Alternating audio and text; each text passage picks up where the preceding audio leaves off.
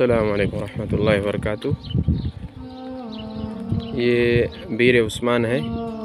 वो आगे जो आपको इमारत नज़र आ रही है, थोड़ी एक कमरा सा इसके आगे बीर उस्मान है।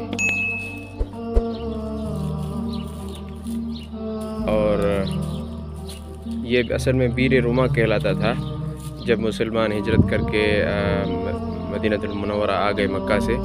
तो उनको मदीने का पानी जो है वो कुछ मुनासिब नहीं लगा।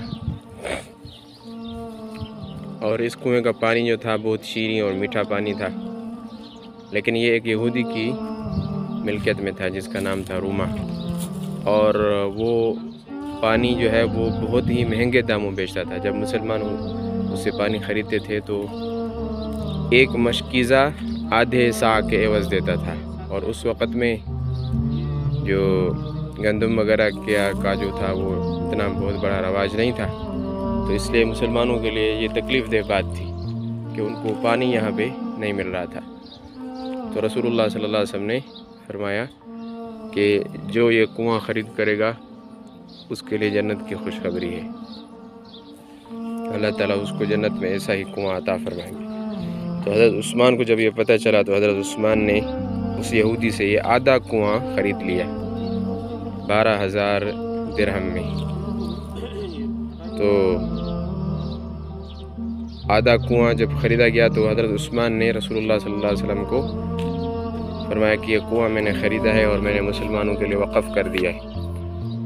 तो मुसलमान जो है वो यहाँ से पानी भरते, रसूलुल्लाह वसल्लम बहुत खुश हुए, मुसलमान खुश हुए, पानी लेते थे। तो एक दिन मुसलमान पानी लेते थे, एक दिन यहूदी। नहीं, एक दिन मुसलमान का पानी था, यानी हज़रत उस्मान का हिस्सा था उसमें। एक दिन हज़रत उस्मान का था, एक दिन उस यहूदी का था। तो मुसलमान जो थे वो उसी हज़रत उस्मान के जो हिस्से का दिन था, उसी ही दिन अपने दो दिन का पानी ले लिया करते थे। तो जब यहूदी की बारी आती तो उससे कोई पानी खरीद, ख़रीदता ही नहीं था। तो हज़रत उस्मान रज़ी अल्लाह तआला ने यह होशारी की कि यहूदी ने जब वो दाम मांगा तो इंतहाई महँगा दाम मांगा। लेकिन हज़रत उस्मान ने फिर भी उस यहूदी को जो है वो दाम दे दिया। और जब दूसरा आधा, यहूदी ने कहा कि अब तो मुझसे कोई पानी ख़रीदता ही नहीं है तो आप दूसरा आधा भी ले लें। तो हज़रत उस्मान ने जो है फिर उससे कम दाम में लिया, आठ हज़ार दिरहम में।